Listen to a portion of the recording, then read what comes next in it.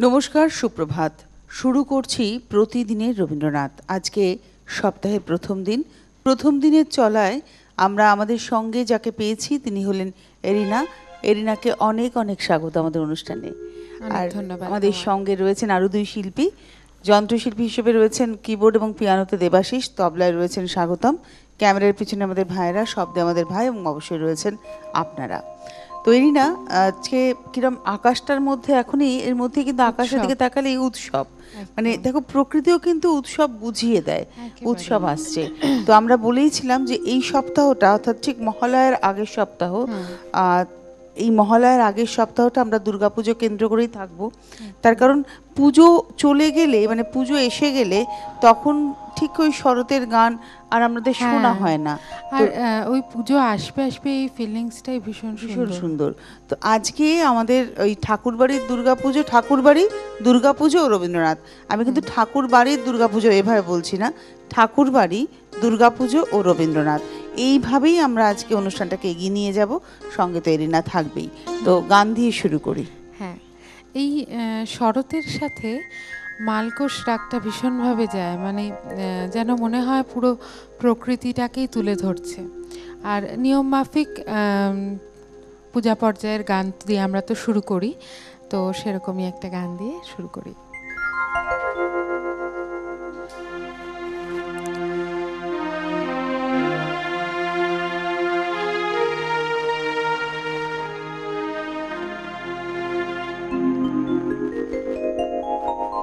Ah.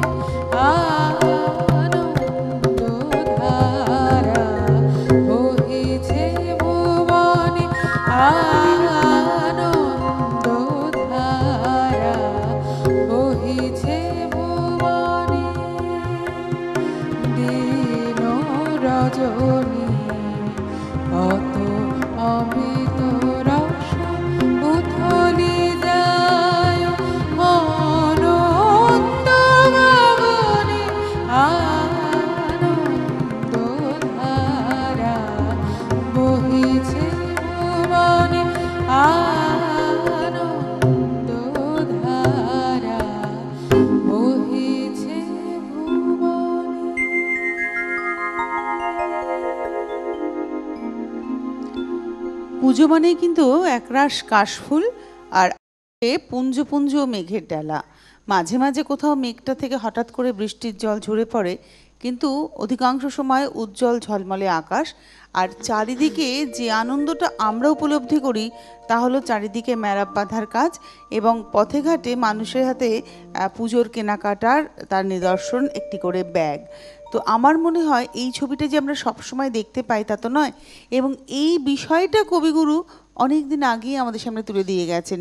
সেই আহ, মধুবেদু দুই ভাই এই কবিতাটির মধ্যে কিন্তু আমরা দেখি যে এই কবিতাটি যখন আমরা পাঠ করি তার মধ্যে দেখি যে একটা অসম্ভব কষ্টের ছবি এবং পুজোকে কেন্দ্র করে তো আবর্তন হয় নানাবিধ মানুষজনের।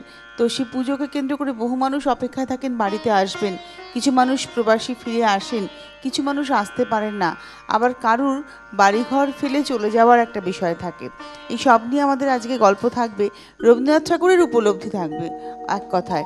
তো ঠাকুর বাড়িতে দুর্গাপুজো হতো কি না এটা একটা বড় প্রশ্ন। ঠাকুর বাড়ি তো ব্রাহ্ম, সেখানে দুর্গাপুজো হতো ব্রাহ্ম পরিবার। প্রথম দিকে তো আর ব্রাহ্ম তারা ছিলেন না। হ্যাঁ। একদম প্রথম দিকে যখন তারা জোড়াসাঁকোতে এসে বাসা বাঁধলেন তখন থেকে কিন্তু ঠাকুরবাড়িতে দুর্গাপুজো হতো এবং দুর্গাপুজো হতো মহর্ষি দেবেন্দ্রনাথের আমলেও দুর্গাপুজো হয়েছে। তার পরবর্তী পর্যায়ে দুর্গাপুজো আস্তে আস্তে বন্ধ হয়ে গিয়েছে।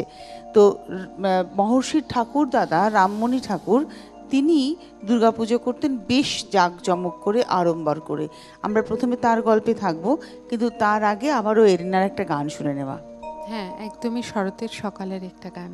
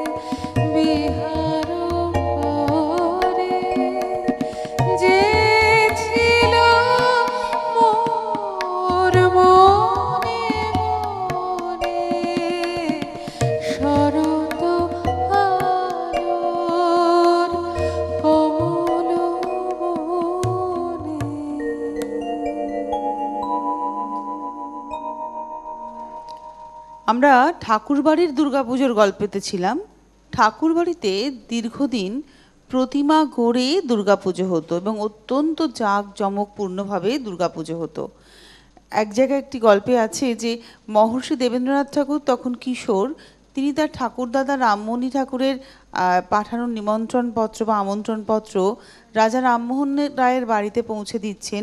তিনি দৌড়তে দৌড়তে রাস্তা দিয়ে এবং পৌঁছাবেন রাজা রামমোহন রায়ের বাড়িতে এই নিমন্ত্রণ পৌঁছে দেওয়ার জন্য এবং রাজা রামমোহন রায় অত্যন্ত সাদরে এই আমন্ত্রণ গ্রহণ করতেন।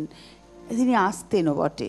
এবং রাজা রামমোহন রায়ের সাথে তো প্রিন্স দ্বারকানাথ ঠাকুরের সক্ষতার কথা আমরা সকলেই জানি, তো ঠাকুরবাড়ির দালানেই দুর্গাপুজো হতো এবং দুর্গা মা অর্থাৎ প্রতিমাকে গড়া হতো ঠাকুরবাড়িতেই এবং সেই ঠাকুরবাড়ির দুর্গা প্রতিমা কিন্তু একেবারে সোনার গয়নায় সেজে থাকতো। আর দশমীর দিন বলা হয়েছে, দশমীর দিন ওই একদম প্রতিমা গয়নায় সুসজ্জিতা প্রতিমায় নিরঞ্জন হতো, অর্থাৎ গঙ্গায় বিসর্জন হতো। তো এই এমনটাই ছিল ঠাকুরবাড়ির চালচলন, তো সেই ক্ষেত্রে মহর্ষি দেবেন্দ্রনাথ ঠাকুরের সময়ও কিন্তু দুর্গাপুজো হয়েছে এবং সেই সময় অবশ্যই মহর্ষি থাকতেন না বাড়িতে, তিনি প্রবাসে চলে যেতেন। আঠেরোশো উনচল্লিশ খ্রিস্টাব্দে সম্ভবত তত্ত্ববোধিনী পত্রিকা পরেও বেশ কিছু বছর পরেও কিন্তু দুর্গাপুজো হয় এবং ধীরে ধীরে কালের প্রবাহে দুর্গাপুজো আস্তে আস্তে বন্ধ হয়ে যায় ঠাকুরবাড়িতে। সুতরাং রবীন্দ্রনাথ ঠাকুরের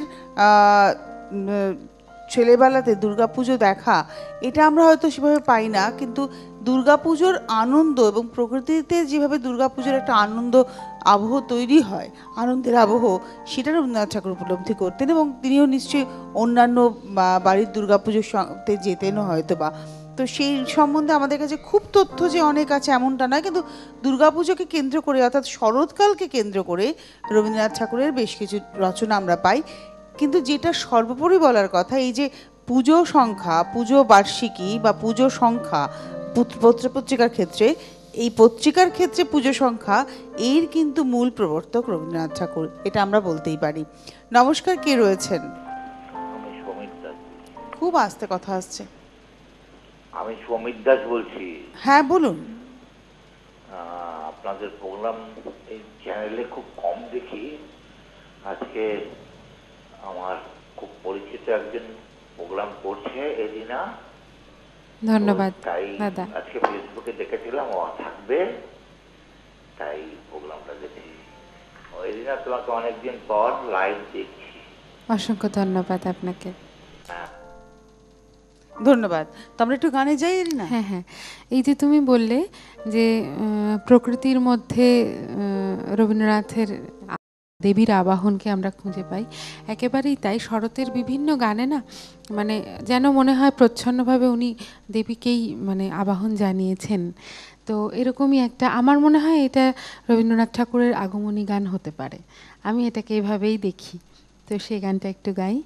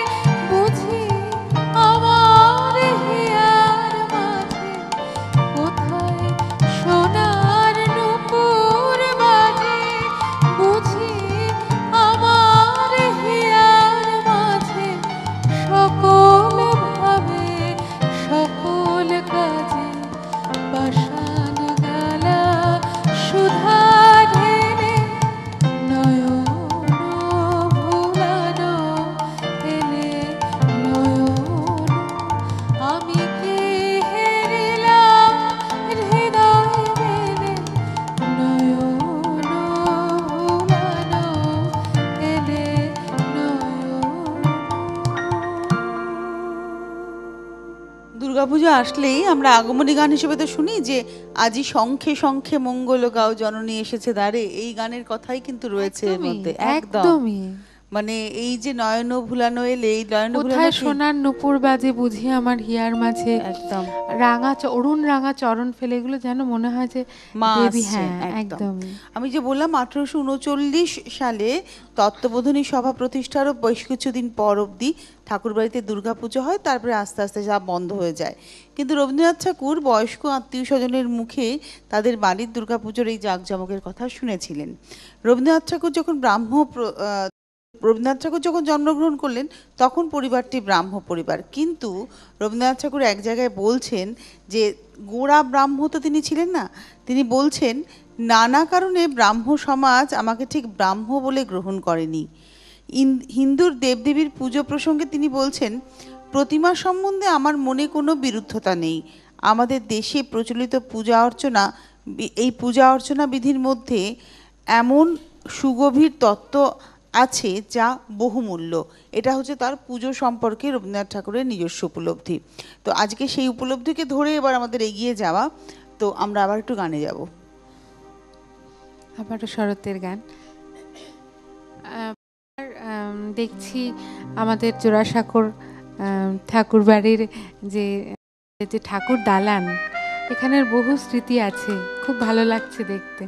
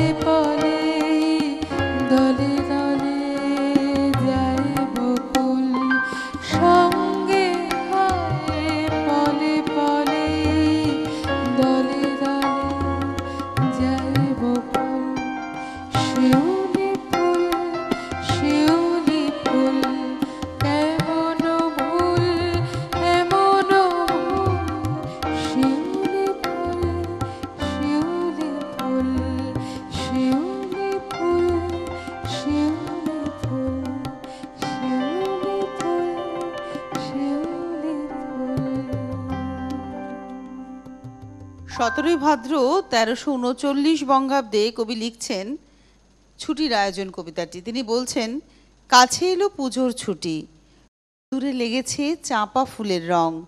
হাওয়া উঠছে শিশিরে শিরশিরিয়ে শিউলির গন্ধ এসে লাগে যেন কার ঠান্ডা হাতের কোমল সেবা।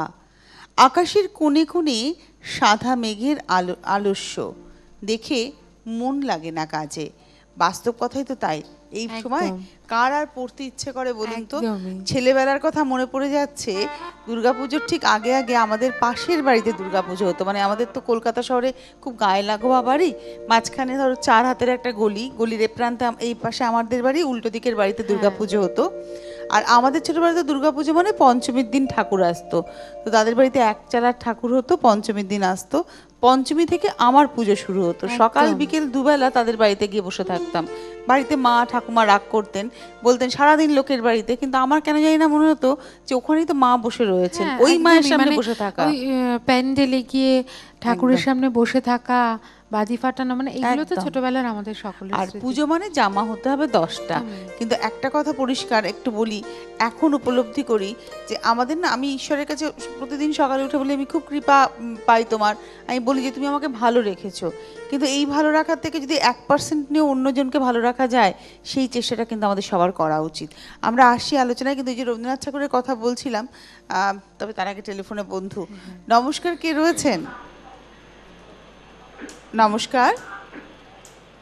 হ্যালো হ্যালো হ্যাঁ নমস্কার কে বলছেন?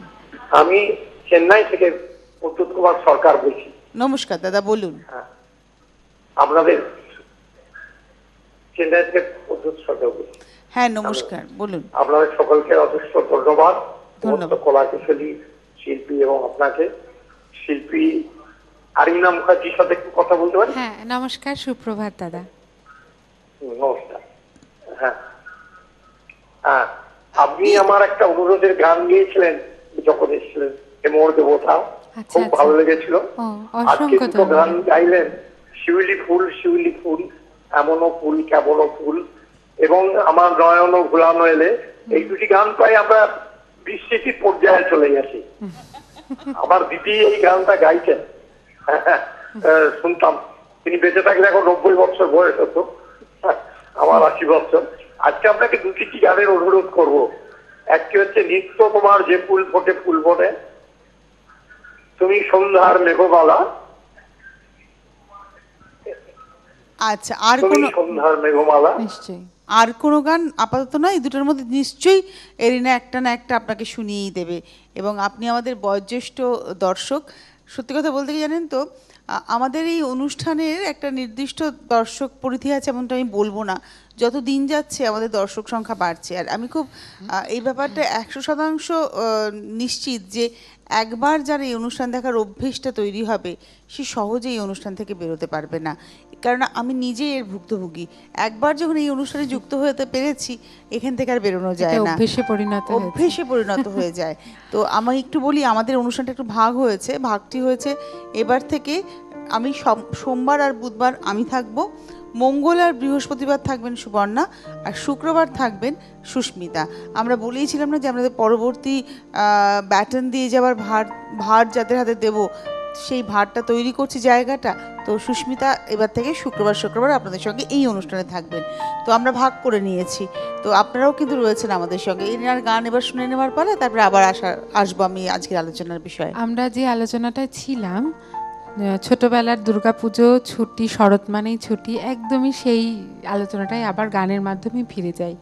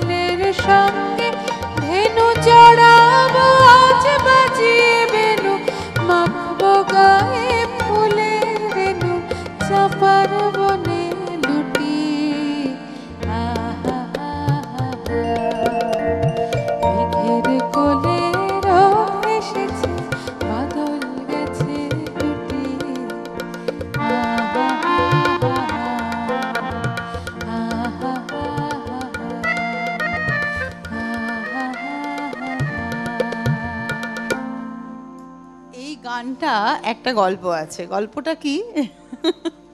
আমি আর স্বাগত ওই জন্য হাসলাম। এই গল্পটা হচ্ছে এই গানটা আমরা যখন সবাই ছোটবেলাও গেয়েছি এখনও অনেকেই গান এই রাখাল ছেলের সঙ্গে ধেনু চড়াবো ওই বাজিয়ে বেনু এই অনেকেই করেন কি রাখাল ছেলের সঙ্গে ধেনু চড়াবো ওই বাজিয়ে বেনু কিন্তু আসল জায়গাটা হচ্ছে রাখাল ছেলের সঙ্গে ধেনু চড়াবো ওই বাজিয়ে বেনু এটা সবাই গায় না গো। এই হ্যাঁ এই স্ক্যানিংটা একদমই ভুল হয়। ঠিক এইটাই হচ্ছে ব্যাপার। আমি। বলতেই এটা হলো শিক্ষা। শিক্ষা এবং তুমি তুমি যার কাছে শিখেছো সে তোমাকে গানের মানেটা বুঝিয়ে একদমই। মানে আমরা সব সময় কথাটা বুঝে স্ক্যানিংটা করি। মানে এটাই আমরা শিখেছি। ভালো লাগল এই জায়গাটা এবং এইটাই তো মানে তুমি যখন গান গাও আমার তো মনে হয় আমি আকাশকে ছুতে পাচ্ছি। তো আকাশের শিক্ষাটা ওইভাবেই হয়েছে। আমাদের সঙ্গে কোনো বন্ধু রয়েছে নমস্কার কে রয়েছেন? স্বপ্নাদি বলছেন তমলুক থেকে? না না না আমি আমি লক্ষ্মীধর বলছি বাসবেগ থেকে। আওয়াজ- হ্যাঁ। আমি হয়ে না না না এরকম বলো না বাবা।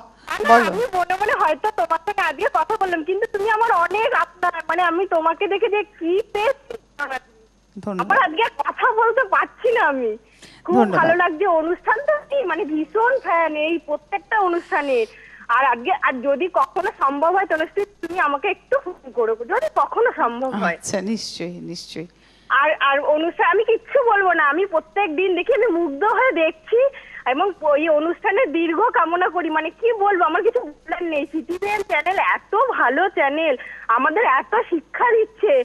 মানে আমার ছেলে কত কি শিখছে এখান থেকে এবং আমি নিজেও অনেক কিছু শিখেছি। আর একজন মানুষকে বলতেই হয় মানে সেটা হচ্ছে মণি ভাস্কর দা আমাদেরকে মানুষ তৈরি করে ধন্যবাদ দিয়েছে। ধন্যবাদ ধন্যবাদ। খুব ভালো থাকবেন। আর আপনি আমাদের সঙ্গে আছেন আমাদের চ্যানেলটা দেখেন ভালোবাসেন। আর সুদূর কাকদ্বীপ কাকদ্বীপ মানে তো অনেকটা দূর মানে সেই গঙ্গাসাগরের কাছাকাছি তাই তো? আমি ঠিক বলছি। হুম, ঠিকই আ- বলছেন। আমার ভূগোল সম্পর্কে মানে আমি এখন সত্যি গোল আমিও তাই। কিন্তু আমি ঠিকই বলেছি আমার কাছে গঙ্গাসাগরের পৃথিবীটা কাছাকাছি। খুব ছোট এবং গোল। হ্যাঁ, আমার কাছেও তাই মানে পৃথিবীটা খুবই ছোট হয়ে গেছে। যাই হোক আহ, গানে যাই মজা করছিলাম। হ্যাঁ। এরপরে আমরা আবার বিষয়ে আসব একটু গান শুনে নিই।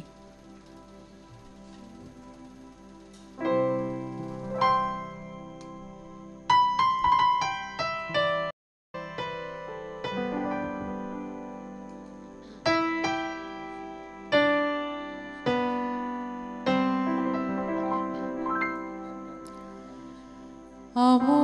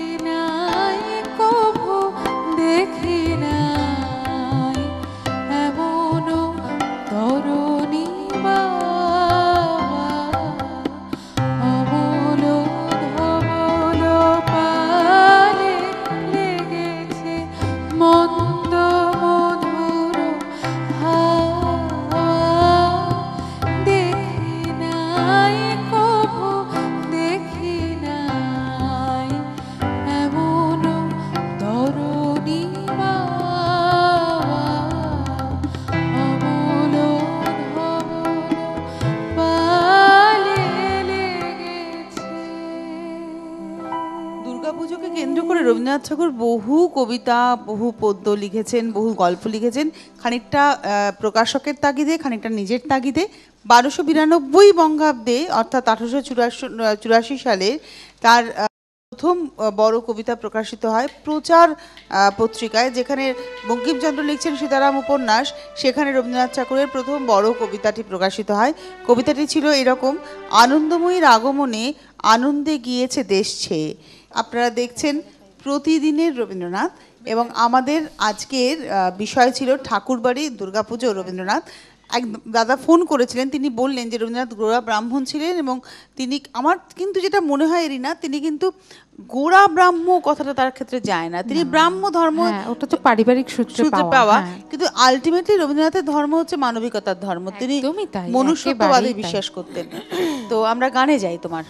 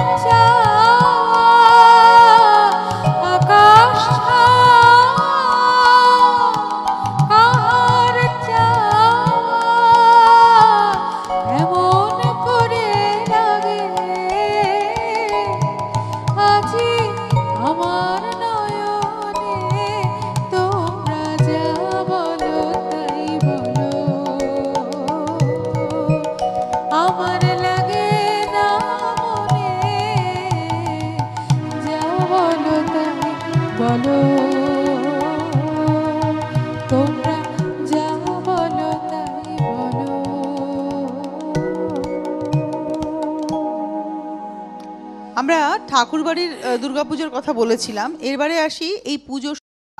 আমি বলেছিলাম যে বাংলা সাহিত্যে প্রথম পুজো সংখ্যা সাময়িক পত্র প্রকাশের ব্যাপারে উৎসাহী ছিলেন কিন্তু রবীন্দ্রনাথ ঠাকুর।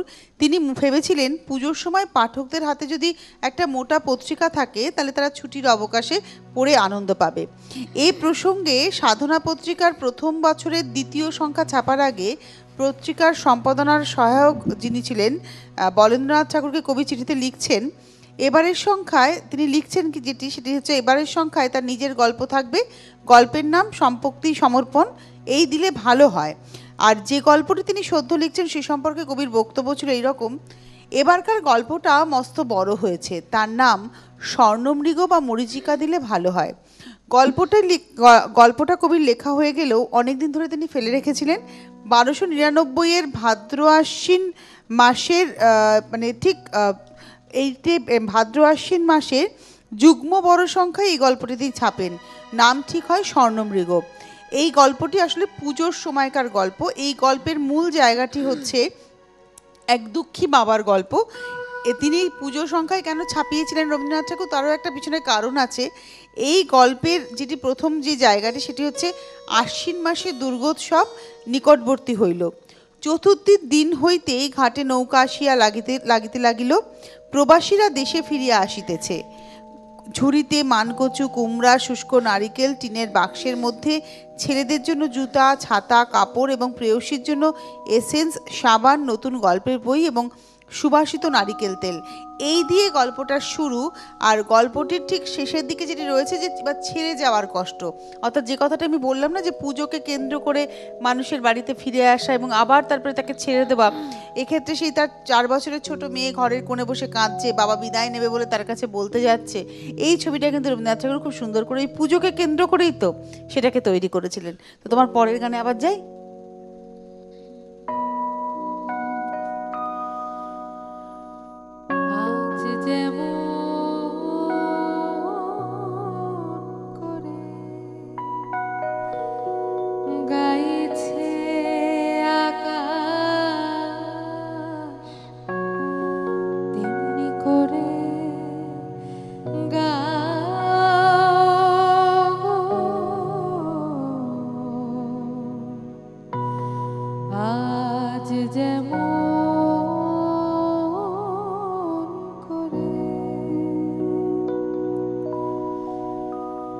আজ যেমন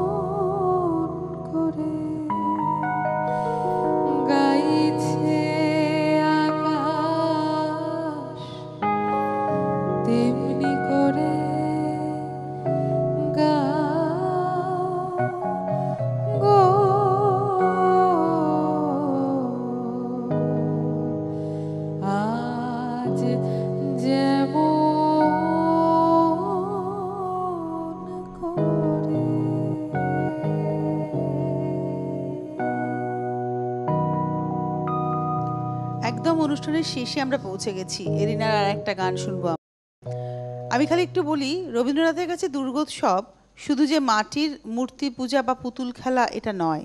তার কাছে এই যে দুর্গাপুজোকে কেন্দ্র করে মানুষের সঙ্গে মানুষের যে মিলন উৎসব, এই উচ্ছ্বাসটা, এই আনন্দের উচ্ছ্বাসটা, মানুষের একটু মুহূর্ত ভালো থাকার যে পর্যায়, সেটিকে তিনি উপলব্ধি করেছেন। এ প্রসঙ্গে কবি ইন্দিরা দেবীকে একটি চিঠিতে জানিয়েছিলেন, সেই কথাটি আমি পাঠ করে শোনাই আপনাদের। তিনি বলছেন কাল দুর্গাপুজো কাল দুর্গাপুজো আরম্ভ হবে। আজ তার সুন্দর সূচনা হয়েছে। ঘরে ঘরে সমস্ত দেশের লোকের মনে যখন একটা আনন্দের হিল্লোল প্রবাহিত হচ্ছে, তখন তাদের সঙ্গে সামাজিক বিচ্ছেদ থাকা সত্ত্বেও সে আনন্দ মনকে স্পর্শ করে। প্রতি বছরের এই ভাবের প্লাবনে নিশ্চয়ই মানুষকে অনেকটা পরিমাণে হিউম্যানাইজ করে দেয়। কিছুকালের জন্য মনের এমন একটি অনুকূল আর্দ্র অবস্থা এনে দেয়, যাতে স্নেহ প্রীতি দয়া সহজে অঙ্কুরিত হতে পারে। আগমনী বিজয়ার গান, প্রিয় সম্মিলন, নহবতের সুর, শরতের রোদ আর আকাশের স্বচ্ছতা, সমস্তটা মিলে মনের ভিতরে একটি আনন্দময় সৌন্দর্য কাব্য রচনা করে দেয়। এই ছিল দুর্গাপুজোকে কেন্দ্র করে কবির অনুভূতির জায়গা। কিন্তু উৎসবের কথা আমি বললাম যে প্রদীপের উপরে আলোর নিচে কিন্তু প্রদীপের নিচের অন্ধকারটাও দর্শনীয়। সেই কারণেই তিনি কিন্তু ওই একটি কবিতা লিখেছিলেন।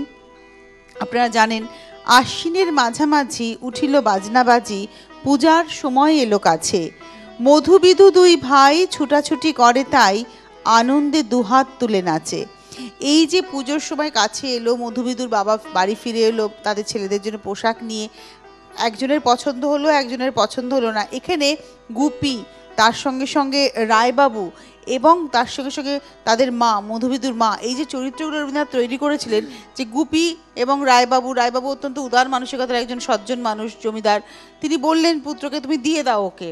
এবং এদিকে মধুবিদুর মা তার মধ্যে একটা অসম্ভব আর স্বাতন্ত্র্য বোধ সে বলল না অন্যের পোশাক নেবে না। এই যে একটা গল্প তিনি রচনা করলেন এটাও কিন্তু রবীন্দ্রনাথ ঠাকুর। হ্যাঁ, একদমই আর এই প্রসঙ্গে আরও একটা বিষয় বলি সেটা হলো রবীন্দ্রনাথের অন্যতম একটি নাটক শারদোৎসব এটাও তো শরৎকেই কেন্দ্র করে এবং আমরা রবীন্দ্র ভারতীতে পড়াশুনো করেছি এবং আহ, সেখানে কিন্তু যেমন বসন্ত উৎসব পালন করা হতো তেমনি শারদ উৎসবও আমরা পালন করতাম।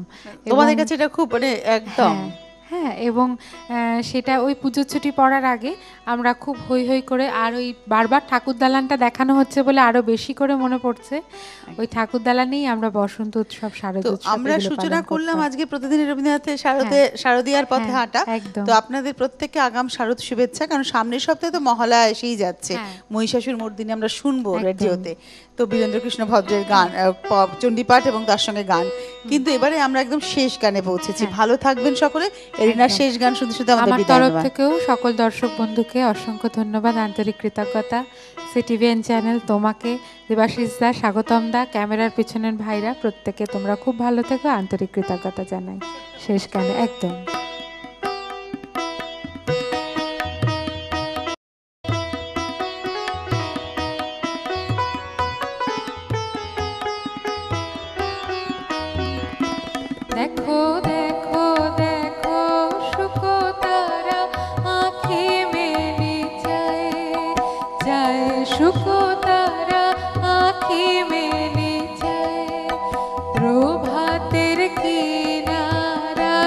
শুকতা